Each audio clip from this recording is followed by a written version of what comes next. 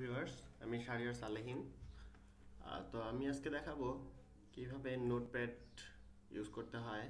I mean notepad কোনটা use করব। Notepad আমাদের ডিফল্টভাবে একটা দেওয়া থাকে বেশির মধ্যে। সেটা হচ্ছে নোটপ্যাড শুধু সার্চ অপশনে গিয়ে নোটপ্যাড লিখলেই চলে আসবে। তো এখানে ক্লিক করলে আমরা নোটপ্যাডটা চলে আসবে। এখানে আমরা যা কাজ করতে পারব। ওকে আমরা হচ্ছে যখন কোনো কাজ করব, তখন আমরা সবসময় অ্যাডভান্সটা নিয়ে কাজ করব। তো নোটপ্যাডের মধ্যে অ্যাডভান্স হচ্ছে নোটপ্যাড প্লাস প্লাস তো আমি আজকে দেখাবো নোটপ্যাড প্লাস প্লাস কীভাবে ডাউনলোড করতে হয়। আমরা প্রথমে একটা ডাউন মানে ব্রাউজারে যাব। ব্রাউজারে যাই একটা ট্যাব ওপেন করব।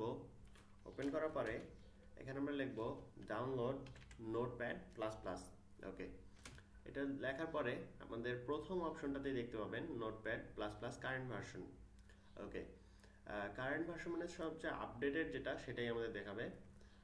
তো এখানে আমরা ওখানে লিঙ্কটার মধ্যে ক্লিক করলে এই পেজটা চলে আসবে। তো এখানে আমরা দেখতে পাচ্ছি ডাউনলোড এখানে আমরা ডাউনলোড ক্লিক করলেই একটা উইন্ডো আসবে যে ফাইলটা হচ্ছে ফোর পয়েন্ট জিরো সেভেন মেগাবাইটের এখানে আমরা স্টার্ট ডাউনলোড দিলেই ডাউনলোড শুরু হয়ে যাবে। তো আমি যেহেতু ডাউনলোড করা আছে, আমি আর ডাউনলোড করছি না। তো ডাউনলোড করবেন এখান থেকে।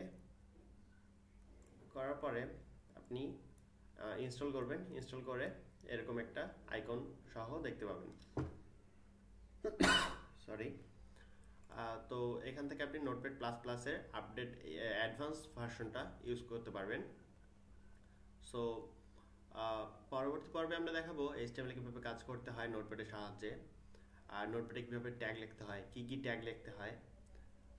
সো পরবর্তী ভিডিওর জন্য অপেক্ষা করুন। ওকে আজকের মতো গুড বাই